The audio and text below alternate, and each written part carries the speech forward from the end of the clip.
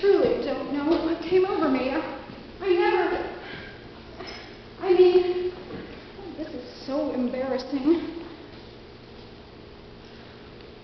So, what's your name? Uh,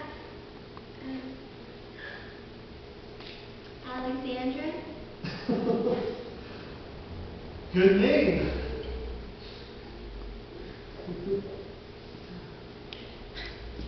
I don't understand why I fainted. Never happened to me before. The fainting, I mean. It was the smoke. Oh, perhaps, but I wasn't even enjoying it. It made me feel nauseous. It still makes me feel nauseous.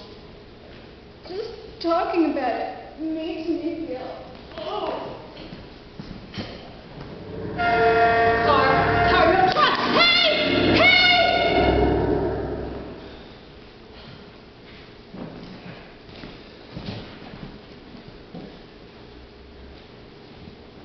You have no clue.